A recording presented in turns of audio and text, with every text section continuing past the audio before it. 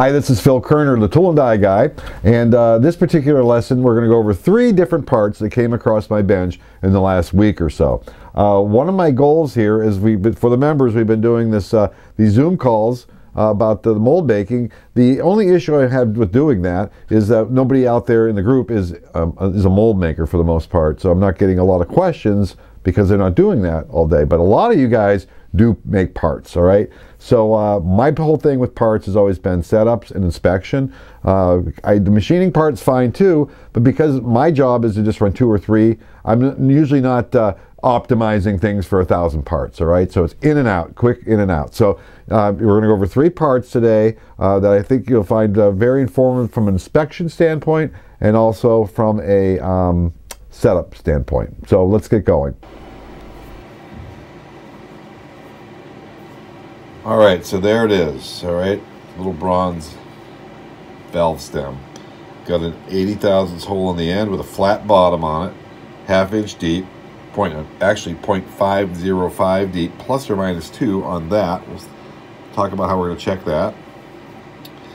Briefly show you how I machine this little 30 second wide uh, key slot in the bottom.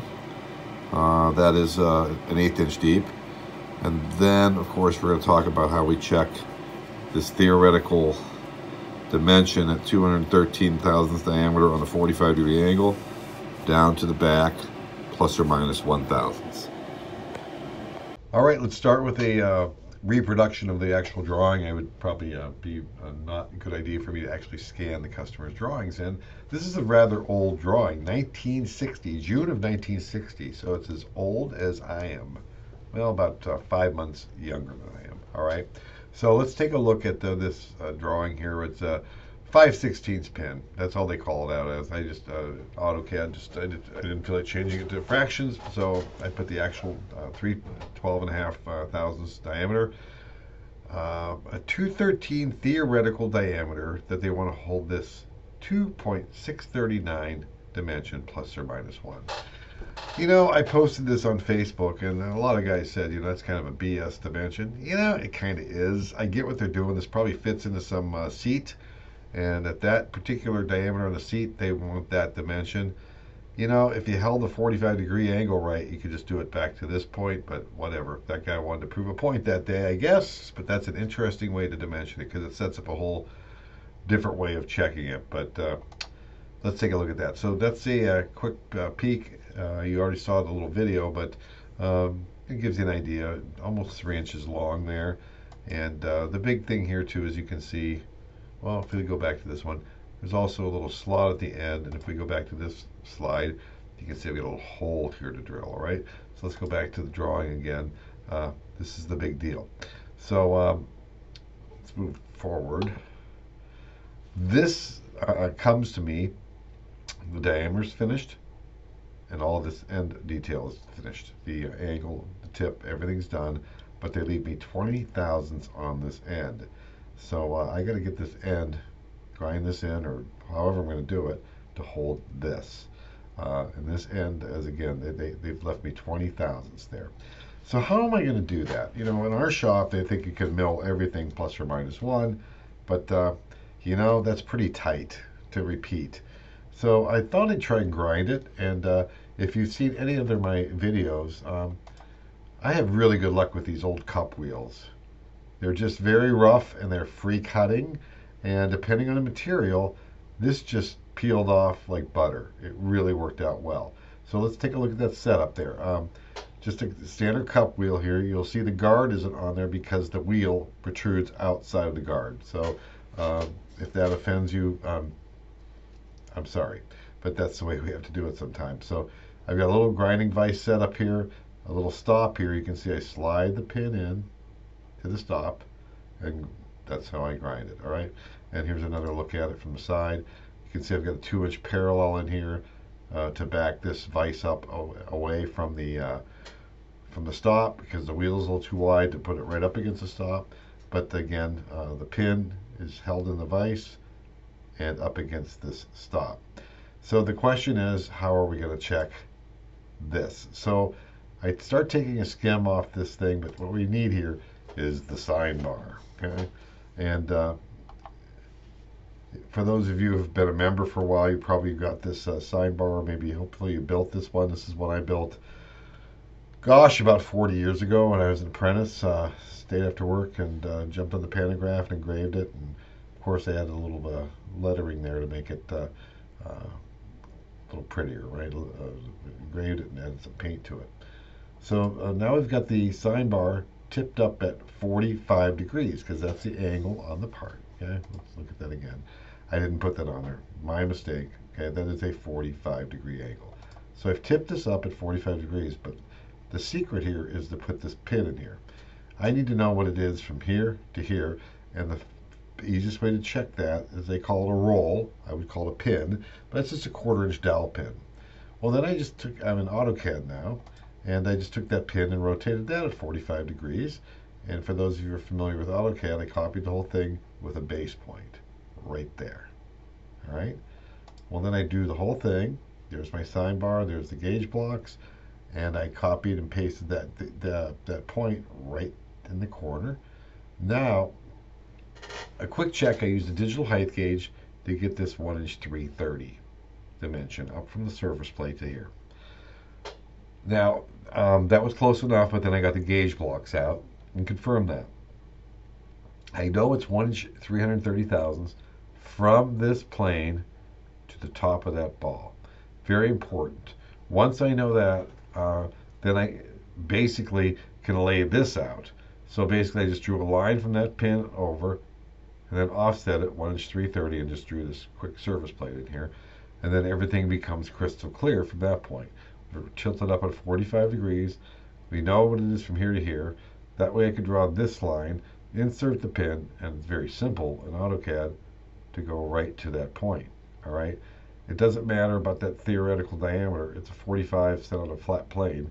So that's my dimension I'm looking for. All right. So um, if we move on to the next slide, that's what it looks like on the bench. Uh, that's me with the uh, gauge block setup there. Now let's look at this setup. A little bit going on here. Got my sine bar set up, and it's a little tippy, right? We're teed up here pretty high, and I've got these gauge blocks, and these aren't square; these are little rectangular ones. And uh, you know, if you bump anything here, everything wants to fall apart. So this is an old uh, Brown and Sharpe squaring block. I bought this several years ago on eBay. Uh, it's a great piece for inspection. So it's uh, it's uh, magnetic. So that holds everything together on this end. And then I just put a magnet here. Okay. Now this piece is non-magnetic, but at least it gives me a stop along the back edge.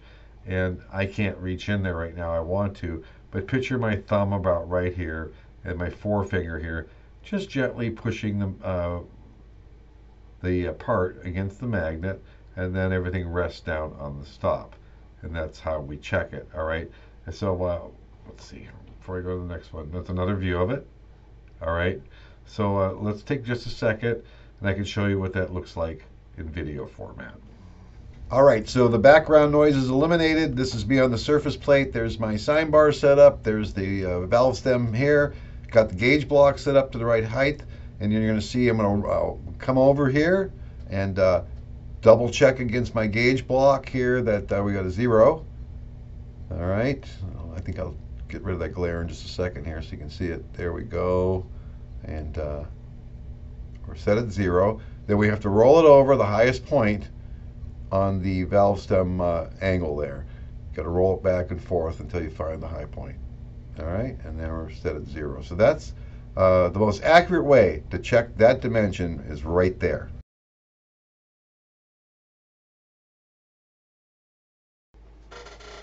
So here's the part that came across my bench the other day. You can see I've got this about uh, 9 inch diameter flange from the lathe department. Um, outside's turned up, inside's turned up. Checked with the lathe department to make sure uh, they machine these concentric. That's good. That'll come in handy later. But we've got this pipe welded to the whole thing. And these two holes I'm going to machine need to be uh, in line with this slot. So what does that look like? Well, when I first got this part, I was really hoping that this slot would be a nominal dimension, and uh, it is, inch and three quarter. Perfect. Now I just need to find something an inch and three quarter uh, wide or diameter to put on my table. which I did find, a piece of inch and three quarter um, diameter stainless. If you take a look at this uh, drawing, there's, or this photo, a lot going on here. Uh, two, four, six blocks with some parallels lined up. Uh, we'll see that in a second. The big thing I want you to learn from this, they're, they're clamped to the table against these dowel pins. You can't see the second one back here, but notice the bushing. And the bushing has an eighth inch, uh, has an eighth inch wall that pushes it away from these studs. Um, a lot of people will use a, a half inch dowel, half inch uh, stud. I'm always afraid these aren't perfectly straight. And as I tighten these, that uh, if we're not using the bushings, we're going to push the rod away from the dowel pins. So I like a little space between the stud and the dowel pin that's aligning it, all right? So uh, that's what it looks like uh, from another view. And you can see I'm just clearing the table there. And uh, about by a 16th of an inch, that's good enough. But because uh, I don't, I don't know how flat that is, I don't want to bottom out on that.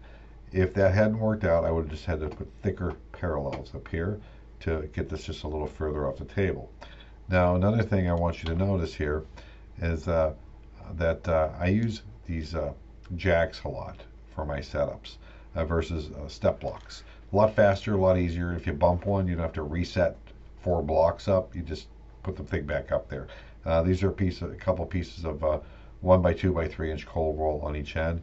I use those for other setups, but they just jacked everything up perfectly. And the other thing I want you to notice here are these eighth inch pieces of aluminum to keep my clamps from marring and digging into the part and leaving a mark. Uh, that's a good professional thing to learn. When you have a nice finish like this, the last thing you want is two clamp marks in it. Find yourself some half inch by eighth inch uh, um, aluminum, cut them up into one strips, cut a couple dozen of them, you'll have them for a lifetime. The only reason you'll lose them is once in a while you'll blow them away when you're checking the part with the air nozzle, okay? So uh, each part had to be indicated in, all right, because uh, I could hold the part pretty close on the x-axis because of this, but uh, I could slide that thing back up and forth all the time. I only had eight parts to do, but I thought there's got to be a way to hook up a stop here, right? So I did. I, I, I just found a piece of a half-inch rod, just put it in one of these half-inch dowel pins on the holes on the table. It wasn't perfect, but it got me within about three thousandths every time. I still re-indicated each part in, but I wasn't way off. Okay, it got me very close. So that was just a, a jury rig thing to do. So busy, busy setup for eight parts. Somebody happened to walk by and said, that looks like a real pain in the rear end.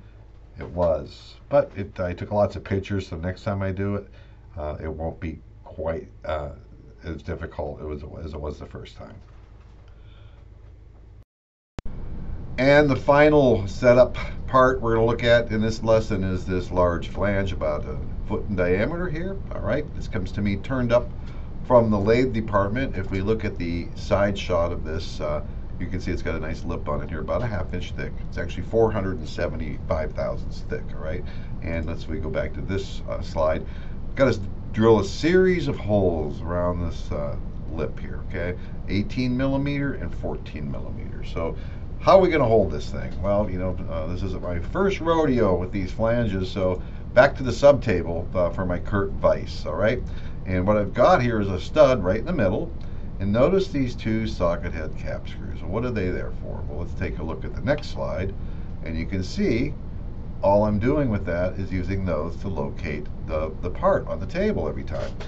Now, it would be nice to use dowel pins, but as you can see, and, and typical of my subtables, every inch and a half we have a, a screw thread, a half inch dowel pin reamed hole, screw thread, reamed hole, screw thread. In this particular case, uh, to get the spacing about right, um, I ended up with um, screw threads. So what's the difference, right? I know it looks much more uh, sexy when the uh, uh there's dowel pins in that hole, but the, these uh, socketed cap screws will do the same thing. And uh, this is what it looks like as we back off.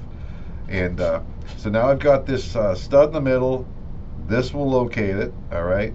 So I can tram this whole thing in, get it on zero, right? But how are we going to clamp this down? Well, this is the uh, best thing. These big C washers I have made up.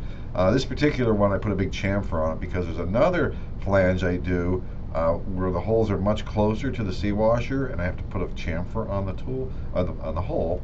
And sometimes the chamfering tool, if I'm not perfectly lined up, was nicking the outside, so I just cleared it with a big chamfer. Now the beauty of the C washer is, is that if this stud isn't perfectly on center, uh, uh, on the on the y-axis here, you can adjust the C washer back and forth. Now I just I eyeball this up uh, to just kind of line up with the O-ring, okay, and everything comes out right. So the big deal with this is you're going to see a little video after this presentation. Um, after it's done, you've got all these holes, and then they've got a chamfer called out. So you'll see in the video, I go through a carbide chamfering tool and put a one millimeter chamfer on all the holes. And then I used to pull this thing off and then have to flip it over and hand chamfer all the holes in the back. Well, I kind of got tired of doing that, so I put a cycle in there to uh, back countersink. And uh, it's really nice to just pull these off the machine and it's done. Just put it on the skid, right? And this is what the holes look like when they're done on the back side. And I'll show you the tool here. It's this little um, chamfer tool, and it's a, got a 3 8 shank and a 3 8 uh, diameter 45 degree here, okay? And you can use both sides of that. You can use the top or you can use the bottom, all right, of that 45. You do have to do some calculations, but it's cleared here, all right? So it lets me uh, actually back chamfer the hole. So let's take a look at a video, and you're gonna see uh, a couple seconds of the chamfer tool doing the top side, and then you're gonna watch this come out and sink down and do the bottom.